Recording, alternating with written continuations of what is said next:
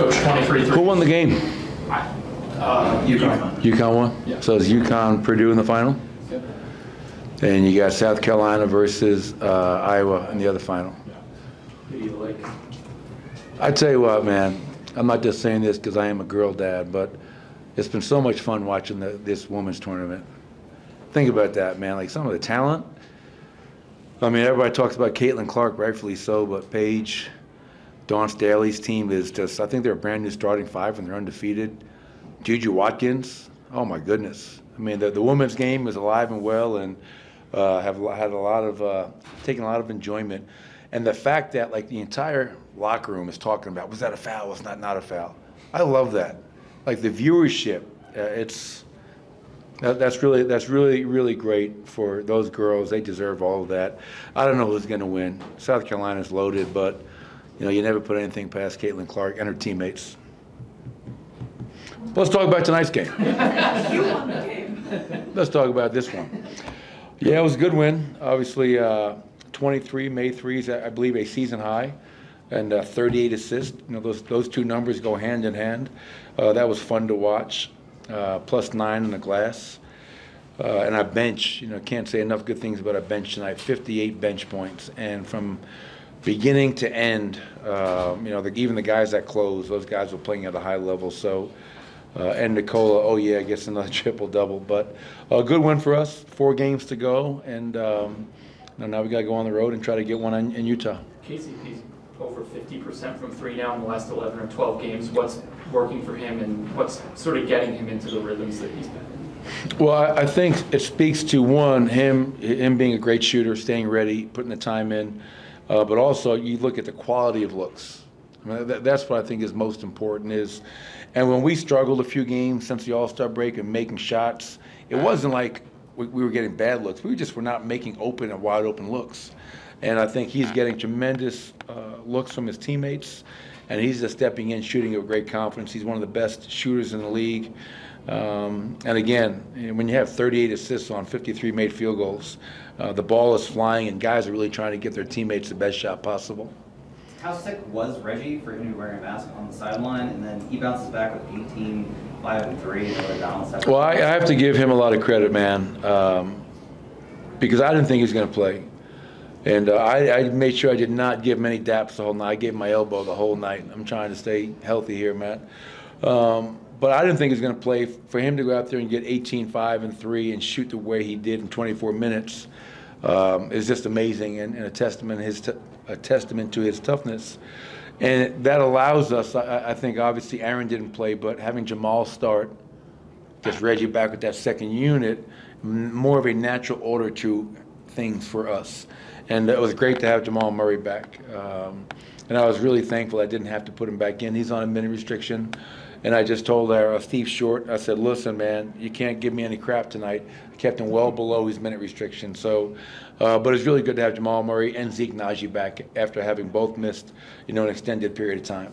How did you feel like Jamal looked physically out there, and, and do you think you'll keep him on that restriction probably for the rest of the regular season, or, or ramp it up a little? Yeah, I, I think probably you know in, in the the same ballpark as we had tonight. Um, obviously, he didn't he didn't come close to reaching that uh, the minute restriction, which is a good thing. Um, but yeah, we'll keep an eye on it. We want to be smart. We want him back. We want him getting a rhythm because it's not like it used to be. The season ended on a Wednesday night, and you were playing on Saturday. The way it is now, you you finished. You got a week off. And so that's why I think it's really important for Jamal to play and find a rhythm. I thought he was pretty good offensively, and I, I think defensively in that third quarter, uh, Jamal and everyone else out there, you know, that was by far our worst defensive quarter. Um, you know, but then in the fourth quarter, once again, we, we were able to uh, lock up and, and get stops and get out and run. Five blocks for Peyton Watson, six assists for Justin Holiday. Just what do those guys bring off the bench for you tonight? Yeah, Peyton was a defensive player of the game. You know, five blocks, six rebounds, um, and just some terrific effort plays. You know, all over the place. And uh, and Justin Holiday, once again, birthday boy. And so he goes out there, three of three from the field, knocks down two threes, six assists. So I, I felt the whole night. I just loved even Julian. I, I just loved how our bench was playing. they played with real good energy and they were attacking and the ball was moving and the pace in which they were playing with. They, they were a fun group to watch all night long. So, uh, yeah, but Peyton and Justin, to your question, Ryan, I thought those guys were outstanding. All right, All right. listen, it's a wrap. Get Jamal and Peyton in here. Was it a foul? You know, I asked Ryan Bone and Andrew Munson, who are both diehard Iowa fans, and they said, of course it was. I think the general consensus was, may have been a foul, but you don't call that in that situation. You always want the players to kind of decide what it is, but if, it was my fault to ask in Iowa, it was a stupid question. Everybody here to join the SWAT team, man. We got shirts. You guys see it's a real thing after tonight. It's not made up. It's a dope shirt, right? Thanks. Thank you, man.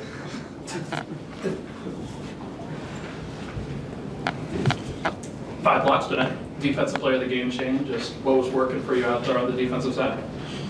Um, I think just playing with a lot of energy, um, playing with multiple efforts. Um, obviously, in the NBA, it's very tough to even block one shot. So I'm glad I was able to be in position to get my hands on multiple tonight. So yeah, just a great defensive night. Um, only allowed them to score 110 points. We scored 142. So just really a great night overall around. Do you have a, a favorite block this season, or are there ones that stick in your head a little bit more than others? I don't know. I, I kind of like the one where I jumped over Joker versus Celtics. That's kind of my the most memorable one thus far for sure.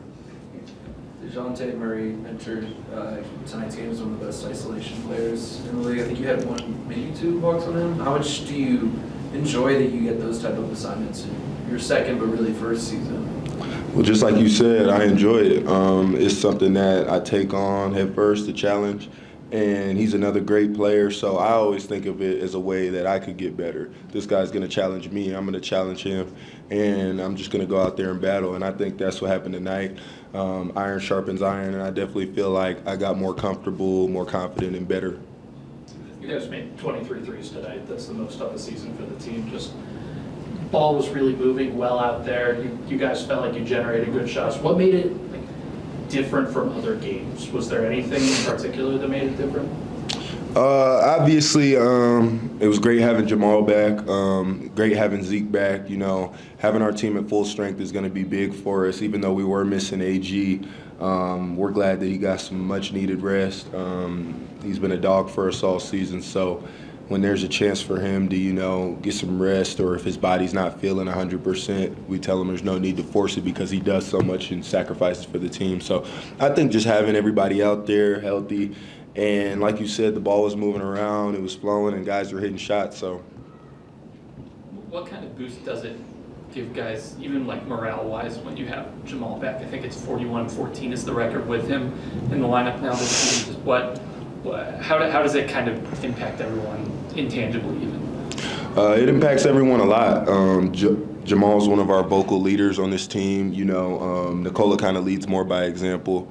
But Jamal's one of those people who's a voice for us in the locker room and just going out there. I think he keeps everybody poised because he's always so under control and always so comfortable. So I think that there's a different uh, sense of comfort when he's out there just knowing exactly what he's going to bring to the table every night. So I think he definitely um, boosted the morale. But I mean, he's been an amazing morale booster even when he's been out. Um, lost a few tough ones, but he's been there supporting us every time. And I mean, he's he's one of the best teammates you could ask for.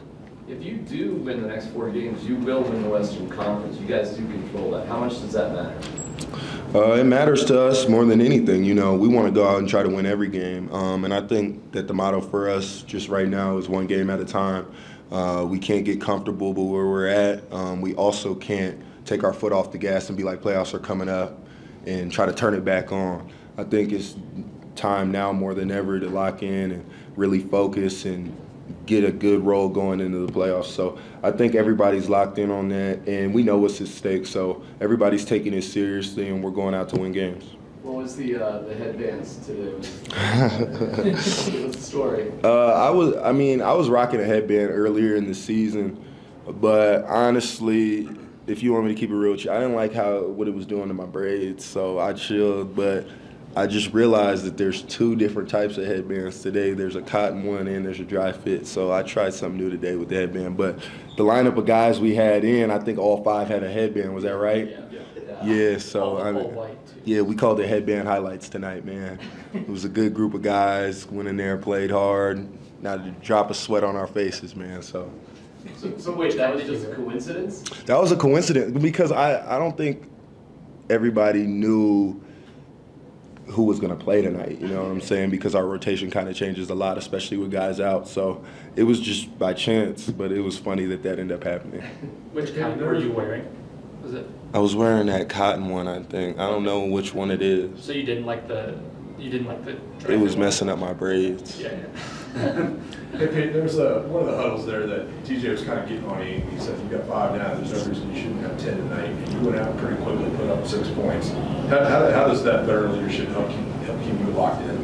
Uh, it keeps me real locked in, and um, at the same time, he challenges me, and that's what I want. That's how I get myself into the game: is finding things to be mad about, or finding things that I can carry with me into the game to keep that chip on my shoulder. And DJ always does a good job of that. He fires me up, and I know it's always coming from a good place. He's never coming from a place of negativity or trying to be malicious with any of his comments. So I think that it's great having him as a veteran presence, like you said, and that's my guy forever. You know, said a few guys were uh, arguing over the, foul call at the end of the Iowa UConn game yesterday. Did you did you see it and have an opinion on it in that in that debate? I didn't even really watch the game, but I did see the call. But uh, I think uh, Paige said it best. Um, no one call determines the game, and obviously there's things that both teams can always do better. So, big shout out to those girls doing it on that side. I mean, they're bringing so much attention and light to the game. It's huge. So, big shout out to them. But yeah, it was a tough call. Tough call. You had a play in the fourth quarter where you came off the screen from, uh, I think it was Zeke, and you dribbled, pump fake, hit the mid-range shot. Um, where is your comfortability on the ball from the beginning of the season to now?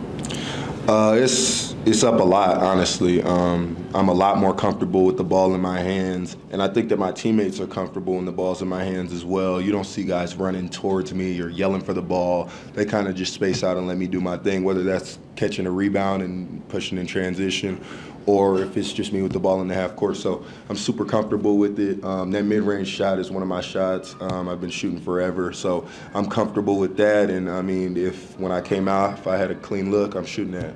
You watching or have been watching uh, to, I guess, while you're like, you know, adding things to your on-ball game? Uh, definitely uh, watching guys, especially in the mid-range, like Kevin Durant and Devin Booker. I think just their footwork and their shot preparation on every shot is so great. Uh, especially being able to see them last year in the playoffs during that um, game three and four in Phoenix. It was special to watch. Um, so I try to take little tips and tricks here and there um, from them, but really just watching the game, watching Nikola, watching Jamal. I mean, I have some of the best examples right in front of me, so I just try to soak up as much as I can and be a sponge. You guys had a dunk contest as a team. How would Jay Huff do? I think Jay Huff will do pretty good. He all, he always does something in warm-ups where you're like, I didn't know you had that, Jay. So He looked at 360 windmill earlier today. yeah, he could do that at seven one. That's super impressive to me. So to have that kind of um, control in the air, um, he's definitely a special talent, and we're lucky to have him on the team. Take one more. You guys got Uh, You've got, like, I think this is the first time in over a month that you have had a day off. We got the day off. Yeah, you've got, you've got two days. Oh, it's lit. Is that true? Tuesday. Yeah. Tuesday. How, how do you, I, I assume you feel pretty good about it. Yeah, man. I feel I feel all right about it, man. I love being here. I love my job. There's no place I'd rather be than here. So I'm sad that I'm gonna be away from my guys for tomorrow, but um, we'll reconvene uh, the next day.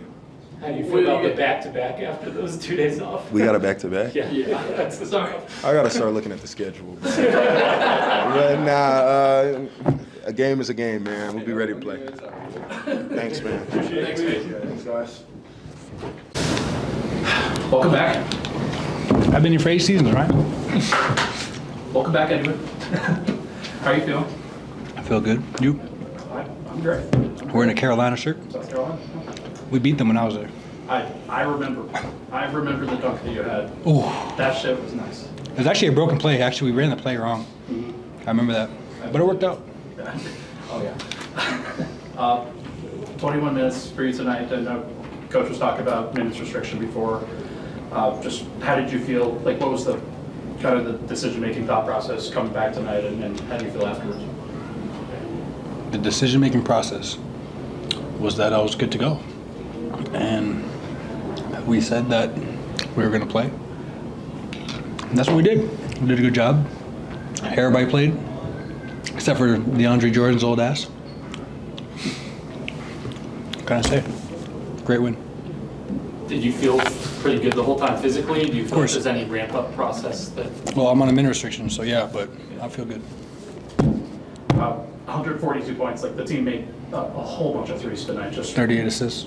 Yeah, 38 assists as well. Uh, What was the, ball was obviously moving out there really well. What was the sort of breaking, was it getting into the paint? Was it just rotating around the perimeter? No, we're just playing our game. This just uh, just comes down to defense. Um, getting out and running as well gives us more opportunities to get those and points. So um, it wasn't we didn't we don't change anything when we score more or score less, bro.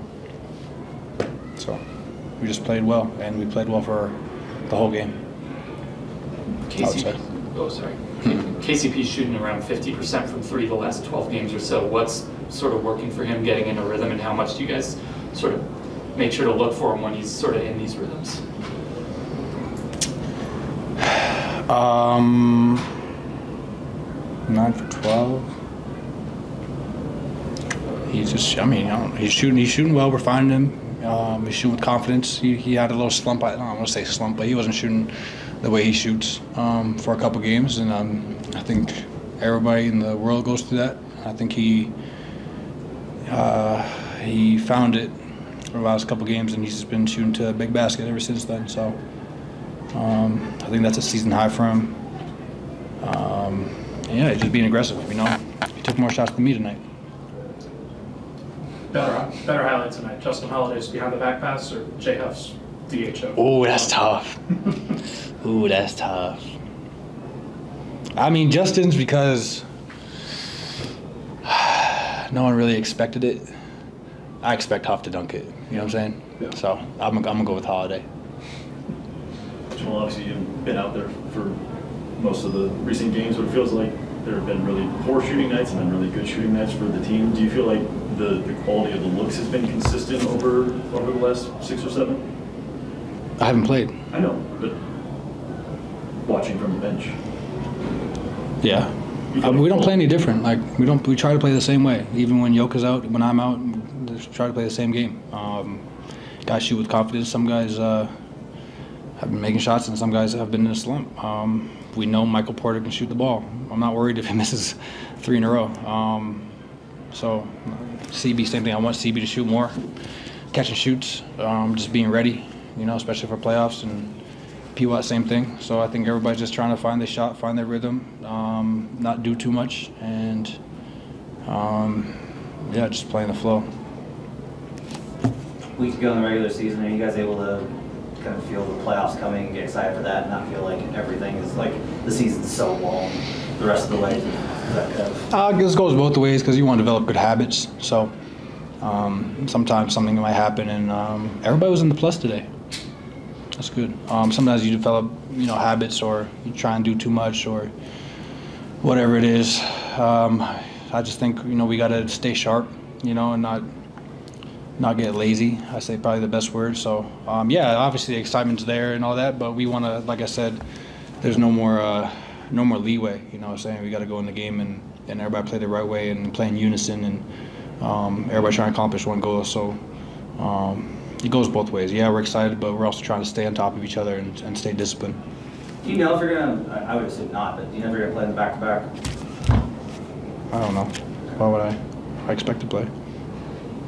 Uh, Once, four games left, like, you guys are currently in the one seed right now, just how much does that matter to you in any way, shape, or form, like the home court advantage aspect of it? Of course it matters. It's the number one seed. You get home court advantage the whole playoffs, even when you get to the finals. So I think, well, we don't because Boston is. Yeah. So, but of course it matters.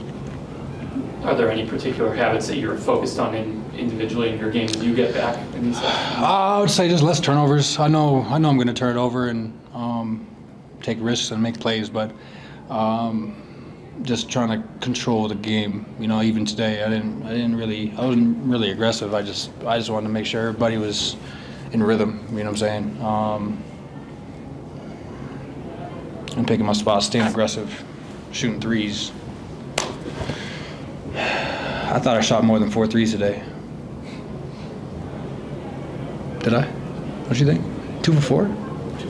I mean, you guys are watching the game, bro. Tell me. It looks, it looks like you shot four, I would say. Yeah. On to, Long two? Okay. yeah, one of them, Yeah. so like- I made it. Oh, that's right, I made it. Yeah. Made it. I'll take it. One more, anybody else? Katie, go ahead. I don't know what everybody's already asked, so. That's okay.